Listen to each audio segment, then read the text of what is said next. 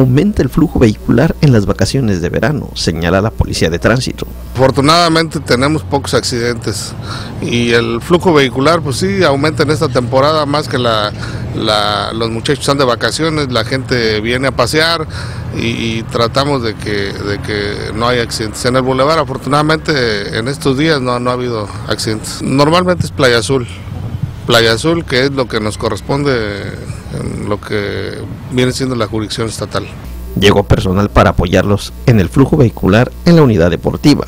nosotros en, las inmediaciones de la unidad deportiva, ahí en el campo de fútbol, estamos brindando seguridad vial para evitar accidentes, cualquier atropello y darle seguridad a los peatones y visitantes que vienen al, evento. La, la coordinación de delegaciones, la subdirección de tránsito y la Dirección de Seguridad Pública tuvo a bien apoyarnos con personal de afuera para, para tratar de que salga con saldo blanco el evento deportivo nacional que está llevando a cabo en la ciudad. ¿Cuántos llegaron?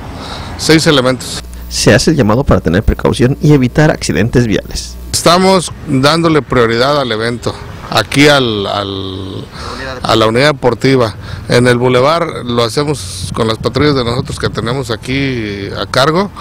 Les damos recorridos a la playa para, para evitar cualquier accidente y tratar de disminuir la velocidad. Hay que disminuir la velocidad y hay que respetar los señalamientos de tránsito. Los límites de velocidad es muy importante que los respeten y guardar la distancia necesaria respecto al vehículo que le preceda a uno cuando va circulando. Gente de aquí de la, de la ciudad, si pasan por la unidad deportiva, hay que disminuir la velocidad, hay que darle una buena imagen a las personas que, vienen a, participar aquí en el torneo para que se lleve una buena imagen de, la ciudad y, bueno, ojalá que en años venideros vengan otra vez porque estén a gusto, porque se les trató bien aquí en la ciudad. Oscar Camacho para Noticieros Nuestra Visión.